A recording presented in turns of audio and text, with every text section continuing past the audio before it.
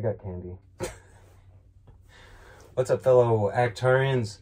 Um, today I'm in my uh, 92 Honda Acty van HH3 and I wanted to show you guys something today. This was already um, this was already a, a previous post on the Honda Acty Enthusiast Facebook page. So I am only just making a video showing you um, that it can be done and how to do it. Um, so I am not the uh, person who figured this out. I'm just going to make a video showing you how to do it. And you probably have no idea what I'm talking about. Sunglass holder. So, if you want a place to put your sunglasses in your Honda Acty truck or van, and uh, you got a similar setup to this guy going on here with the rear view mirror, um, Honda makes a sunglass holder. I'm sure you maybe you've seen these around. Oh, I've got sunglasses in there already. Um, so this pops down. Boink. Put your sunglasses in there. Uh, so I was trying testing it. I have my dragons in there. It's a little bit of a tight fit, but they fit. So you can see dragons, my dragons fit in there. And also, if you're a big baller and you're rolling around with gift cards and whatnot, there's a little slot up on the top that uh, it says card. And you can slip your card in there, or maybe you got some business cards. And you go around um, showing off your coolness. Uh, you can put some cards in there. But yeah, I was going to show you guys how to install it because it is not made for the uh, HA3, 4, maybe 5. I'm not sure. I know for sure the 6 and the 7. Um, this does take a little bit of uh, a little finagling to get it to work. But it does work and it looks pretty slick and it can hold your your sunglasses up here. So you're only going to need a couple tools, uh, one tool actually, uh, two tools, your brain and screwdriver. And you are going to need longer um, screws because what happens is it creates a little gap in there between the headboard, the, the uh, ceiling, and the mirror. Just a slight gap. Can't really see it unless you're really looking. So it's not like something major. But they are M5 by 8, uh, about 20 millimeter um, length. So you will need those. These are on my website and all that stuff, so I'll have links down below. Um, but these are genuine Honda, genuine Honda uh, parts from Japan. So, screwdriver. Let's take the uh, old mirror out.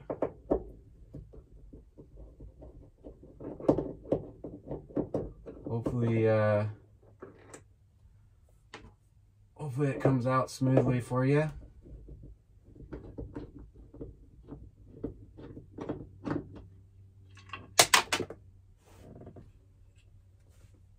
I don't know where that went. So you're gonna need to take those screws out. And I'm gonna have to try to find that that screw. Uh, okay, so now that we got that out, what this does is this will mount on the base of your rear view mirror. So there's two holes for the screws and then there's one slot um, for one little uh, little pokey thing right there. So it fits in that.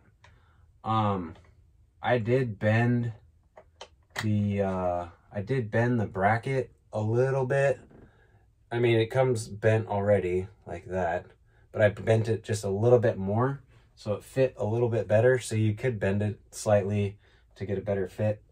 But now what we're to do once it's in there, um, I'm to take my, my longer screw and put it in there. And I found it to be easier because it does want to move around and it's kind of difficult um, to get it by yourself. To put the screws in the holes already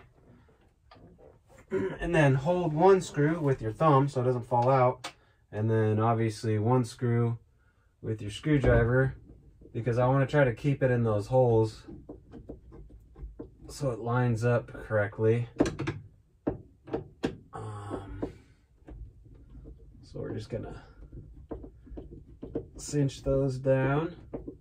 And you can get the longer screws from like Home Depot.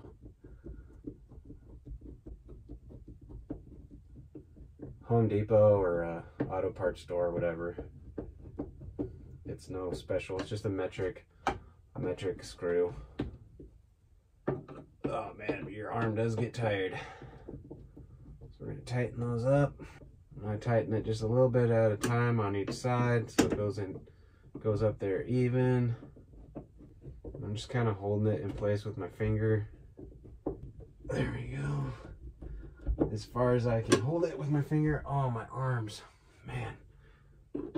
As far as I can hold it with my fingers and then I'll let it go and then it should stay in that general vicinity.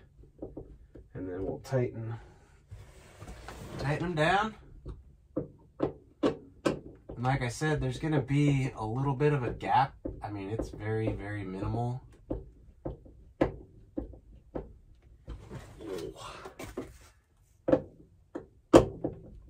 Hey.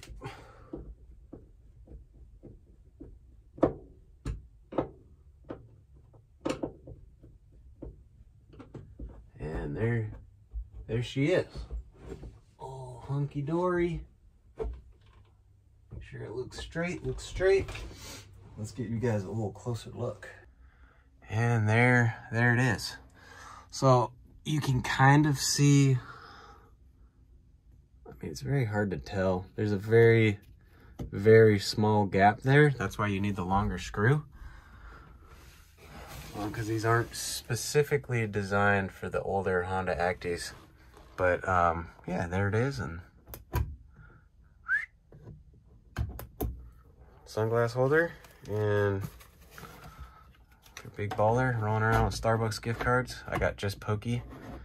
I love me some Pokey and some acai bowl. Oh man, up in Washington, my arms are killing me. But yeah, I mean, that was a very uh, super basic how-to, just to show that you can get this, that guy up there. It looks pretty good.